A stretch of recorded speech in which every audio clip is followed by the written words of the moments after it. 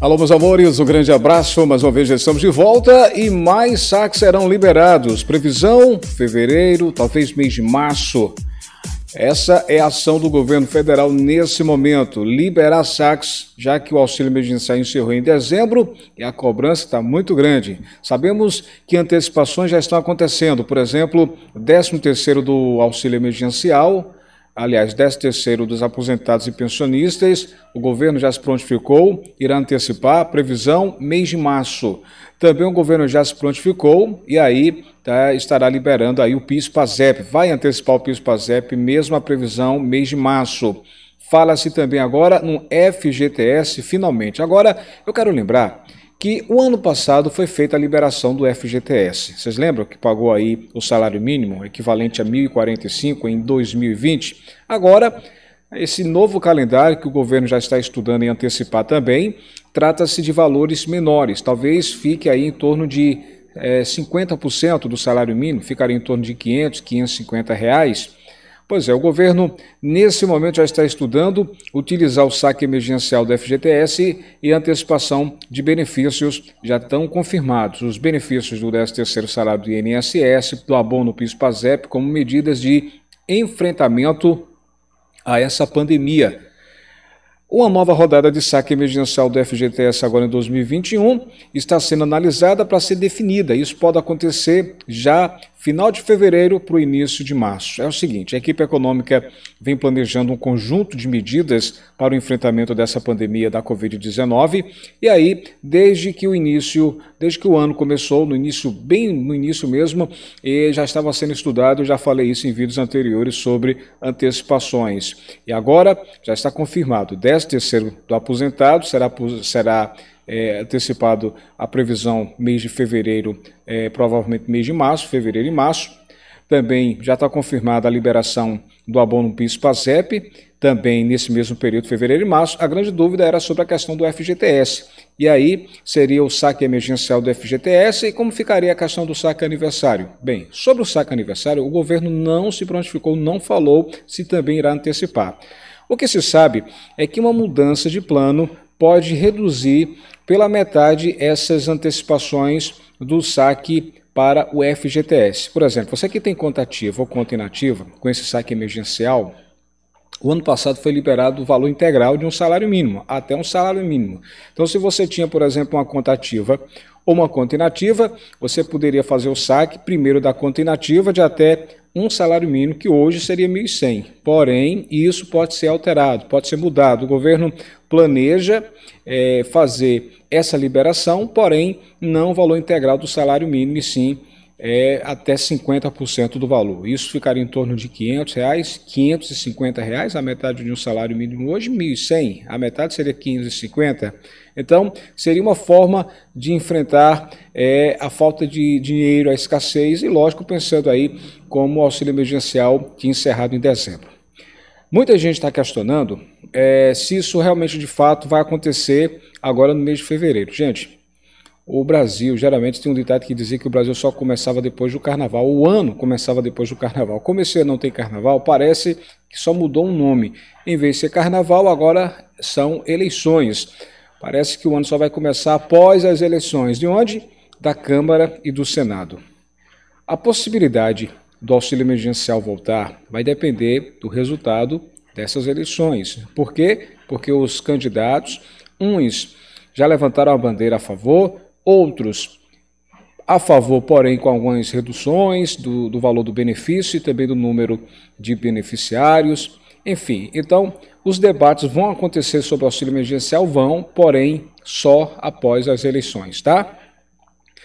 Quero lembrar que foi feito um pedido do, de uma sessão extraordinária e, lamentavelmente, hoje, dia 23 de janeiro, até o momento não foi aceito. E aí, essa é, semana que passou, tinha uma grande expectativa de que houvesse a sessão extraordinária, mas lembro, a maioria desses parlamentares estão em campanha, pedindo votos aí para os seus candidatos, tanto Baleia Rossi, o André Janones e também o Arthur Lira, e também do Senado, a Simone Tibete e também o, o Rodrigo Pacheco, enfim, estão em campanha, pedindo votos, inclusive até entrando pela madrugada, conversando com os parlamentares, os parlamentares que vão votar, e aí a gente está acompanhando tudo isso. Bem, então os valores serão liberados. A questão do FGTS poderá acontecer isso, a, a previsão, segundo analistas, poderá acontecer para o final do mês de fevereiro ou para o mês de março. Será liberado o FGTS também, o emergencial. Porém, o governo não tem interesse de liberar o valor completo, o valor integral, e sim 50%, a metade, que hoje seria em torno de 550 reais, tá? Então, contas ativas e inativas, o ano passado o governo liberou um salário mínimo, né, até 1.045, esse ano a mudança é que vai reduzir para pela metade aí e vai liberar apenas 50%, que ficará em torno de 500, 550 reais, tá? O auxílio emergencial, repito, a possibilidade de voltar, os debates só irão acontecer após, as eleições é, depois dessas eleições que irão acontecer dias 1 e 2 de fevereiro, para decidir o futuro presidente da Câmara, dos deputados e também o futuro presidente do Senado Federal. O negócio é acompanhar e ficar alerta a tudo isso. Tudo que acontecer com as eleições poderá refletir nesses benefícios, principalmente o auxílio emergencial. Algumas pessoas perguntando sobre o Bolsa Família.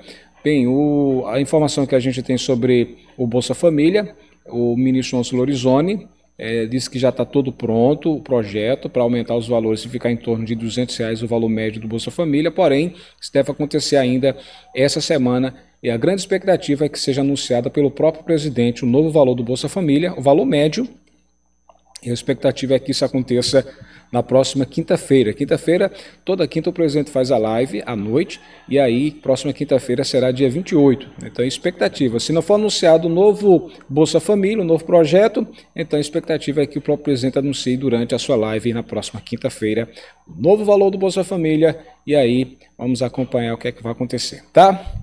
Não esquece de dar um joinha, de dar um like, é importante você fazer isso, dar essa moralzinha. Você que gosta do nosso trabalho, você que aprecia as nossas informações. Aqui é para você se inscrever, tá vendo aqui o nome inscrever-se, destacado em vermelho?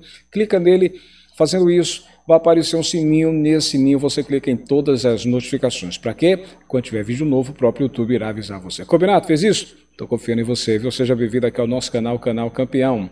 Compartilhe esse vídeo no seu grupo do WhatsApp, Facebook. É importante que mais pessoas possam ser alcançadas com essas informações. Eu estou lá no Instagram, lá no blog, blog Alex Silva. Se você quiser estar na minha lista de amigos, terei o maior prazer, tá? Portanto, uma nova rodada de saque emergencial do FGTS, como aconteceu em 2020, deve ser liberado pelo governo federal agora em fevereiro ou no mês de março. A medida foi uma das iniciativas adotadas pelo governo em 2020 no combate à pandemia. O objetivo da medida era injetar 38 bilhões de reais à economia com esses saques. E agora os valores poderão ficar pela metade. Por que será?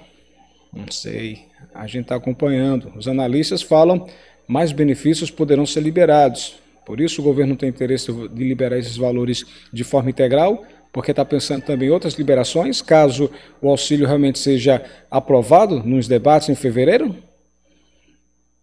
Pode ser.